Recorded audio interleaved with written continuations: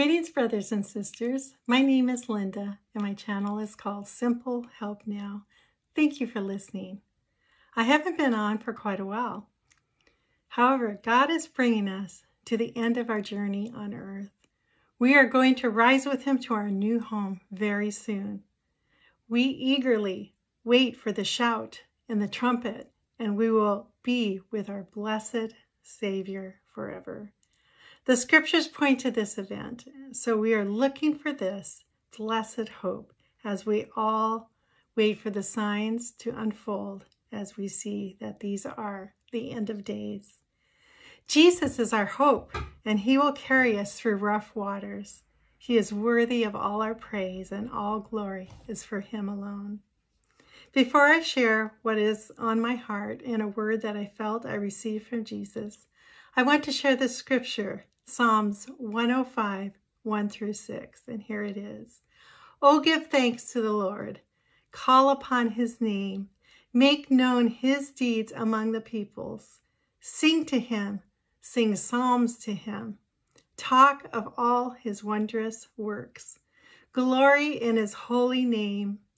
Let the hearts of those rejoice who seek the Lord. Seek the Lord in his strength. Seek the, his face forevermore. Remember his marvelous works which he has done, his wonders in the judgments of his mouth. O seed of Abraham, his servant, you children of Jacob, his chosen ones. And that was the scripture. As we wait for the coming of Jesus, we are to give thanks, talk of his amazing works to friends and family and other people around us while enjoying the glory of his name. We are to rejoice daily, seek the Lord for his strength, and to enjoy Jesus and look for his face. We are also to remember his works and wonders that God has done. What a mighty God we serve. Last night, I heard a shofar. It's a fun story. I was asleep and I woke up hearing a shofar which was playing in the distance. I leaped out of bed looked around the room, out the window with anticipation. It was still in the distance, so I opened my computer to see if the sound was coming from it.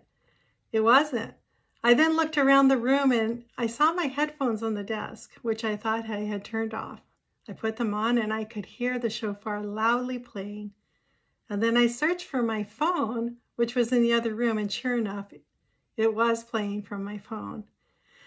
This odd event was as if it had were playing music on a channel for some time, but only the shofar woke me up. By that time, I was wide awake, I was standing, and I was praising Jesus. Perhaps that's how we will feel when it really does sound. Wide awake spiritually and looking up. I believe as a reminder that we will soon hear the trumpet sound and we will be raised up to meet Jesus. It was a little preview. Jesus is coming just as he said. Before I share the word, I want to encourage you that we are getting very close to the end, but it will be just the beginning of our lives with Jesus in our new home. Our battles will be over. Joy and beauty will surround us. All our trials will be done. There will be endless joy complete health, and our relationships restored, and Jesus will be with us. We can rejoice at this time in history because it's just a bridge to our real life that is going to that we are going to live in. We will be so free, so joyous, healed, and loved. There is so much to look forward to. We will have Jesus, the Father, and the Holy Spirit around us. What an amazing thought if you are born again, you have everything to look forward to, and everything is about to change. I want to share a quick word that I felt that the Lord gave me. Please feel free to test all the words, and here is that word. My children. My shofar is about to sound. My dearly beloved children. It is written and it is an event that is about to be fulfilled. My bride is precious to me, and my word is true. Those who oppose the scriptures will be disappointed. Those who love my appearing will rejoice at my presence. Many souls hang in the balance at this time. Those whose hearts are wavering between gods of this world and true salvation in my name. Those who trust in me will see their deliverance. Have faith, my dear children. Be aware of this, this season of destiny and embrace me as your Savior without wavering.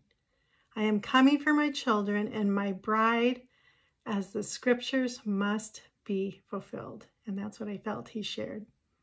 We can get excited. Keep your ears open, share the gospel, and keep your heart steadfast in him. Keep reading the scriptures about the promise of his coming. As he says, it will bring comfort in these days. And that's from 1 Thessalonians 4.18. This is to remind us that the shofar is about to sound. Keep listening. There, there was a man who dreamed about this, and I will link it either in the description box or directly. I like that. It sounded like what I heard. Thank you for listening. This is Linda from Simple Help Now.